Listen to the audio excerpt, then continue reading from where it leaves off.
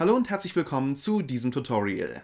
In diesem Video würde ich dir gerne sieben unterschiedliche Wege vorstellen, wie du mit deinen Büchern online Geld verdienen kannst. Ich möchte mit dir aber heute nicht nur über das Thema Amazon Kindle sprechen, sondern ich möchte dir einfach mal Alternativen zu Amazon Kindle zeigen und euch so grob meine Meinung zu den unterschiedlichen Einnahmequellen geben. Ich möchte vor allen Dingen aber auch darauf nochmal hinaus, was man machen kann, wenn man bereits ein Buch auf Amazon Kindle hat und ich möchte euch so grob zumindest skizzieren, welche Schritte man gehen kann, um nochmal seine Einnahmen zu erhöhen. Bevor ich das aber tue, auch nochmal eine persönliche Empfehlung von mir an euch. Und das ist das Buch hier nämlich von einem von meinen Coaching-Teilnehmern, nämlich von Uwe. Das Buch nennt sich 25 Wege, online Geld zu verdienen. Und er hat halt in diesem Buch, wie es sich vielleicht schon aus dem Titel erahnen lässt, ähm, aufgezeigt oder er schreibt praktisch, ähm, wie man sich unterschiedliche Einnahmequellen aufbauen kann. Und ich denke, dass euch dieses Buch hier auch sehr gefallen wird. Ein Link zu diesem Buch befindet sich in der Videobeschreibung. Aber fangen wir mal an mit dem eigentlichen Thema vom heutigen Video. Ich denke, viele von euch haben sicherlich schon mal darüber nachgedacht, ein Buch auf Amazon Kindle zu publizieren und das ist auch, denke ich mal, keine schlechte Idee. Amazon Kindle an sich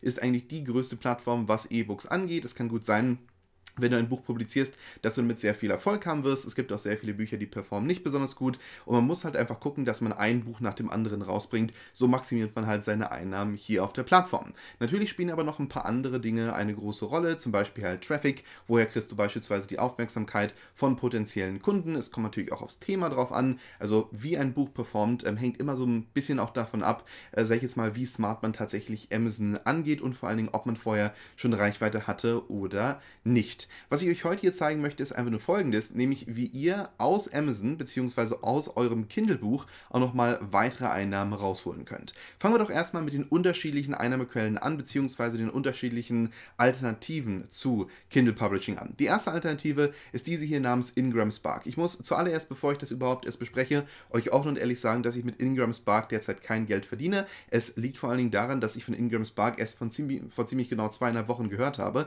und ich hatte das ja schon mal in einem einem von meinen anderen Videos mit euch geteilt. Nämlich, ihr könnt gerne mal bei YouTube eingeben, Ingram Spark Earnings und da werdet ihr Leute finden, die ich glaube derzeit über 10.000 Dollar im Monat machen mit Ingram Spark und die zeigen das auch direkt in diesen Videos. Das heißt, es gibt da wirklich Leute, die haben ihre Einnahmen ähm, von Amazon Kindle durch Ingram Spark extrem äh, maximiert. Nämlich, was du praktisch machen kannst, ist folgendes. Du kannst halt hier jederzeit deine Bücher hochladen und deine Bücher können dann auch mal als, ähm, sag ich jetzt mal, physische Form verkauft werden.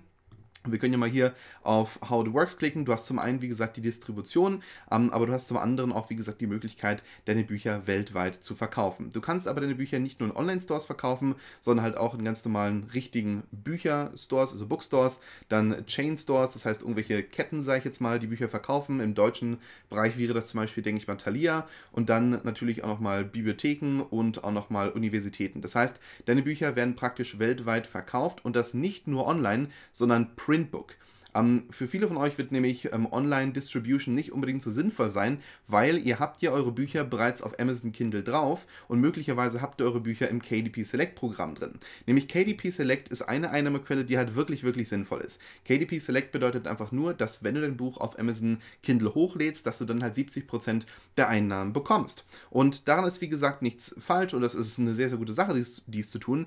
Bloß du verlierst natürlich auch ähm, ja, die Chance, ein großes Potenzial auszuschöpfen. Nämlich du darfst, wenn du dein Buch bei KDP Select drin hast, dein ähm, Buch nicht digital auf anderen Plattformen anbieten. Das heißt, für Ingram Spark würde sich dann halt vor allen Dingen die Printbook Distribution äh, Partnerschaft lohnen. Und das ist halt eine von den einzigen Plattformen, die ich persönlich in diesem Bereich kenne, die tatsächlich Printbook Distribution anbietet. Warum genau ist das so wichtig? Nämlich, ihr kriegt ja dann, wenn ihr ähm, euch auf Amazon Kindle anmeldet, weiterhin eure 70% im KDP Select Programm und ihr könnt halt, da das Amazon erlaubt, auch eure Bücher hier auf Ingram Spark hochladen und könnt nochmal eure Printbook Sales extrem ähm, maximieren, sodass ihr dadurch nochmal einige ähm, Einnahmen generiert. Das heißt, es ist praktisch kompatibel zu KDP Select, was eine wirklich, wirklich super Sache ist. Nämlich ihr könntet jetzt, ihr könnt natürlich schon euer Buch hochladen hier über die ähm, und versuchen zu verkaufen über die Online Distribution Partners, aber dann würde höchstwahrscheinlich Amazon sagen, naja, tut mir leid, aber wir müssen halt dein Buch runternehmen oder zumindest aus dem KDP Select Programm rausnehmen, weil du halt gegen die Richtlinien vom KDP Select Programm verstößt. Wenn du aber hier nur auf Printbook Distribution Partners gehst und du hast praktisch dein Buch nur in diesem Distribution Prozess drin, dann wirst du nicht gegen ähm, die Richtlinien von KDP Select, ähm, sag ich jetzt mal, verstoßen und kannst dann weiter im KDP Select Programm drin sein und zur selben Zeit deine Einnahmen erhöhen. Und genau deswegen finde ich Ingram Spark so unfassbar attraktiv und genau deswegen werde ich da auch definitiv meine ähm, Bücher hochladen. Ich muss es steuerlich nochmal vorher erklären, wie es genau funktioniert. Ich gehe mal davon aus, dass sie halt wieder von mir ein W8-Formular haben wollen ähm, und das, wie gesagt, die halt ihr Nettoerlös ausbezahlen. Aber ich lasse es, wie gesagt, erstmal checken und dann mache ich nochmal ein Video drüber und teile euch das Ganze mit. Dann eine weitere Plattform, über die du jederzeit deine Bücher publizieren kannst, ist diese hier namens Publish Drive. Bei Publish Drive muss man aber auf Folgendes achten. Nämlich Publish Drive ist halt eine Plattform, die es uns zum Beispiel auch erlaubt, im Google Play Store zu sein. Es erlaubt es uns, äh, unsere Bücher auch zum Beispiel nach China zu verkaufen, was auch bei ganz, ganz, ganz, ganz wenig Plattformen der Fall ist. Nämlich, wenn ihr beispielsweise nochmal auf Ingram Spark geht und ihr schaut euch an, welche äh, Distribution-Modelle es gibt und ihr geht auf die Online-Distribution-Partners drauf, dann werdet ihr sehen, dass dies praktisch die Plattformen sind, wo die Bücher publiziert werden, wenn sie online publiziert werden und keine davon sitzt in China.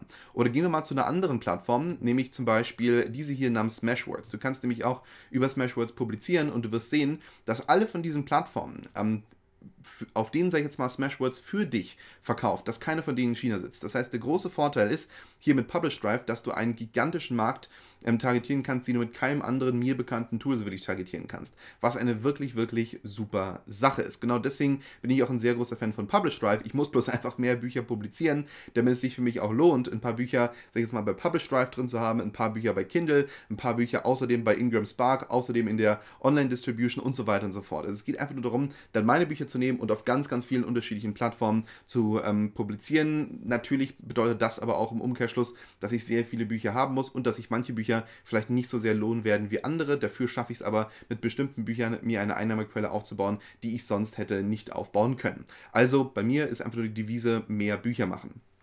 Okay, nämlich Publish-Drive an sich ist auch wieder ein Online-Tool, das es uns erlaubt, über alle möglichen Plattformen zu publizieren. Und das Schöne ist hierbei, dass wir 100% von den Einnahmen erhalten, aber es kostet halt ein bisschen was, diese ähm, Bücher hier hochzuladen. Und wir sehen halt hier, dass es praktisch ähm, die, ja, die Triad-Version gibt, aber normalerweise ist es halt 19,99 Dollar, um auf diesen unterschiedlichen Plattformen hier zu publizieren. Und wir können bis zu 5 Bücher für 19,99 hochladen. Und dann gibt es halt den Pro-Plan, da können wir bis zu 50 Bücher hochladen. Und dann gibt es auch nochmal diesen Plan hier, da können wir bis zu Genau, Custom Number of Titles. Ich denke mal, das ist so, da kannst du eigentlich so viele hochladen, wie du möchtest. Und sicherlich gibt es dann auch nochmal irgendwelche Enterprise-Versionen. Also so funktioniert das halt hier bei Publish Drive. Und das ist auf jeden Fall auch eine Option, die ich wirklich, wirklich interessant finde. Und wir sehen es auch übrigens hier, 400 Stores globally. Das heißt, du kannst dir auch ganz genau anschauen, wo deine Bücher hier verkauft werden. Und das natürlich hier zum Beispiel Plattformen wie Dang Dang, die halt in, in China unterwegs sind. Ähm, und wo ich glaube, dass du eigentlich mit keinem anderen Tool auf diesen Plattformen hier publizieren kannst.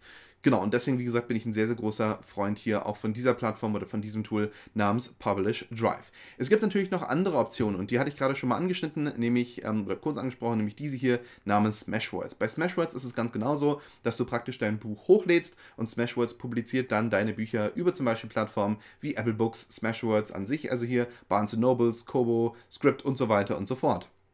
Was halt eine gute Sache ist, weil du halt damit dann nicht nur dich auf Amazon verlassen musst, sondern kannst du deine Bücher über alle möglichen Plattformen publizieren und dementsprechend auch mehr Geld machen. Dann eine weitere Alternative ist diese hier namens Lulu. Lulu hilft dir sogar dabei, dein eigenes Buch zu erstellen. Es hilft dir dabei auch, dein Buch zu drucken. Es verkauft es weltweit und so weiter und so fort. Also hier sehen wir auch übrigens, was es alles für dich tut. Nämlich du kannst zum einen halt direkt mit Lulu dein Buch erstellen. Die drucken für dich das Buch. Du kannst das Buch dann weltweit verkaufen. Du kannst es auch durch Shopify verkaufen. Äh, man lernt mehr übers äh, Publishing, du kannst äh, genau alle möglichen, ähm, obwohl das ist jetzt eher hier für Kunden, ähm, aber das, wie gesagt, sind halt die vier Optionen, die, denke ich mal, hier am wichtigsten sind, nämlich du kannst halt kostenlos über die Plattform publizieren, du kannst dein Buch drucken lassen, du kannst halt weltweit verkaufen und du kannst auch gleichzeitig, gleichzeitig über Shopify verkaufen, da gibt es dann praktisch eine Anbindung.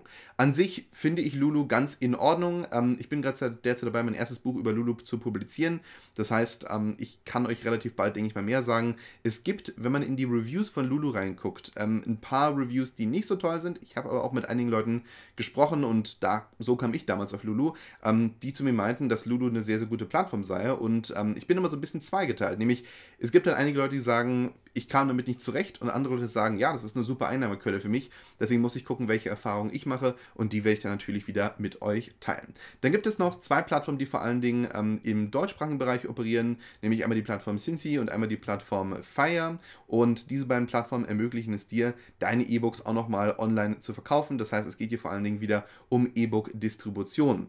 Ähm, ich habe mit ein paar Leuten gesprochen, die ihre Bücher hier über die Plattform publizieren. Die meisten Leute machen jetzt nicht unbedingt mit einem Buch mehr als 50 Euro im Monat, was jetzt nicht besonders dolle ist, aber da ich ja derzeit meine eigenen Ghostwriter habe und halt sehr, sehr schnell Bücher umsetzen kann, denke ich tatsächlich darüber nach, auch nochmal über solche Plattformen hier zu publizieren.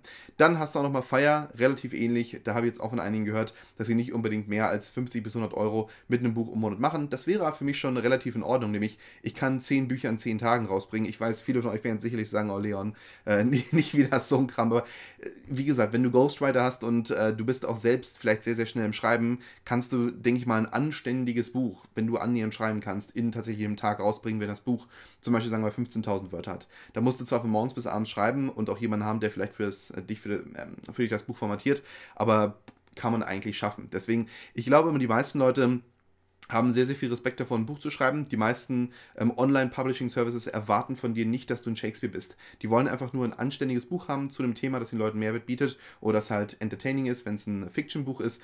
Und ähm, genau, du solltest einfach nur, denke ich mal, viele Bücher rausbringen, damit du auch diese unterschiedlichen Wege mal austesten kannst. Was ich mit euch besprechen besprechen wollte, war aber noch mal, ähm, auch nochmal das hier, nämlich wenn ihr praktisch euer Kindle-Buch ähm, online habt, das heißt euer erstes Buch wurde bei Amazon publiziert, solltet ihr vor allen Dingen auch darauf achten, dass ihr eine Traffic-Quelle aufbaut. Zum Beispiel, dass ihr halt Traffic von YouTube auf das Buch bekommt oder dass ihr halt eine E-Mail-Liste habt oder dass ihr beispielsweise sagen wir jetzt mal, Online-Kurse unterrichtet und dann probiert ihr über die Online-Kurse Schüler zum Beispiel ähm, auf eure Bücher zu bringen, was übrigens ein sehr, sehr guter Weg sein kann. Wenn ihr dann das Buch publiziert habt, dann könnt ihr natürlich zum einen die Bücher ins KDP Select-Programm ähm, reinbringen, was ich euch sehr empfehlen würde, und dann halt das mit der in Kombination mit Ingram Spark und dann natürlich die Print-Distribution, dass also eure Bücher gedruckt werden können und in Bookstores weltweit erscheinen. Und dann natürlich auch nochmal der eigene Vertrieb, der physische Vertrieb halte ich persönlich auch für ganz sinnvoll, dass wenn du wirklich, wirklich viel viele Bücher schreibst, dass du auch die Möglichkeit Leuten bietest, die Bücher in deinem Store zum Beispiel online zu kaufen und du lässt dann halt drucken, beziehungsweise hast dann vielleicht schon äh, mal 100 Kopien drucken lassen und wenn jemand kauft, dann schickst du die praktisch ab. Also grundsätzlich ein eigener Vertrieb halte ich auch für sinnvoll, wenn du auch nochmal eine eigene Traffic-Quelle hast und dann auch nochmal als letzte Möglichkeit Blogartikel, zum Beispiel Blog Mission. Ähm, es gibt eine Plattform namens Blog Mission, auf der du jederzeit deine Blogartikel publizieren kannst, wo du dann an Firmen rantreten kannst, beziehungsweise Firmen treten an dich ran und ähm, du kannst dann, wie gesagt, gesagt, mit diesen Firmen, zusammen, Firmen zusammenarbeiten und Geld verdienen. Und es ist oft so, dass wenn du zum Beispiel jetzt ein Buch geschrieben hast, dass du auch einfach ein Kapitel nehmen kannst, schreibst das natürlich relativ stark um und machst das einfach zu einem Blogartikel und publizierst dann ähm, diesen Blogartikel über solche Plattformen wie Blogmission. Das ist, denke ich mal, ein relativ einfacher Weg, nochmal einiges an Einkommen aufzubauen. Und ähm, genau, mein persönlicher Tipp wäre, dass du halt diese unterschiedlichen Einnahmequellen miteinander kombinierst, nämlich KDP Select mit Ingram Spark, mit einem eigenen physischen Vertrieb und natürlich auch nochmal solchen Einnahmequellen wie Blog Mission. Aber gut, das war es nun hier für dieses Video. Wenn du dir mit mir ein persönliches Coaching buchen möchtest, dann schau doch gerne mal in die Videobeschreibung rein. Dort befindet sich ein Link zu meinem Coaching-Programm. Ich danke dir vielmals für deine Aufmerksamkeit und ich hoffe, dass wir uns bald in einem meiner anderen Videos wiedersehen können.